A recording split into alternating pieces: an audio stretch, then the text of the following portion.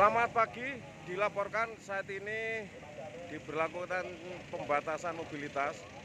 Jadi untuk dalam kota Sidoarjo ada rekayasa arus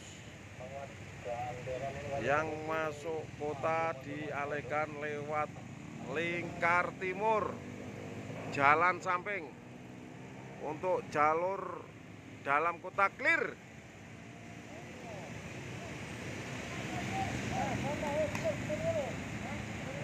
Himbauan kepada masyarakat, mohon jangan abe. Kita harus tetap optimis dan selalu jaga protokol kesehatan.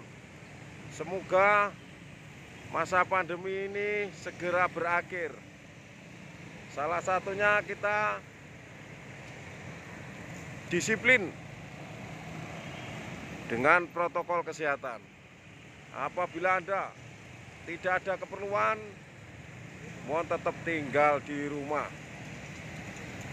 Mohon tetap jaga diri, jaga keluarga, dan jaga negara. Indonesia bisa!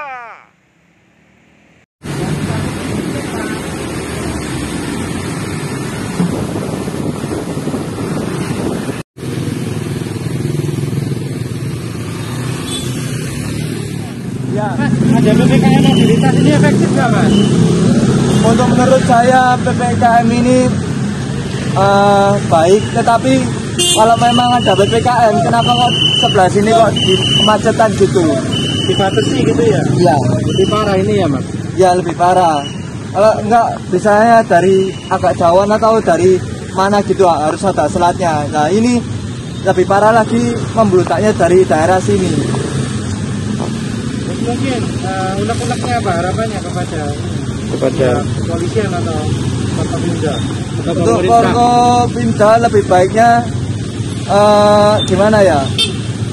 Di, bisa dikatakan lebih diperbaiki lagi dari kemacetan ini. Soalnya banyak dari warga yang keluh kesahnya kemacetan seperti gini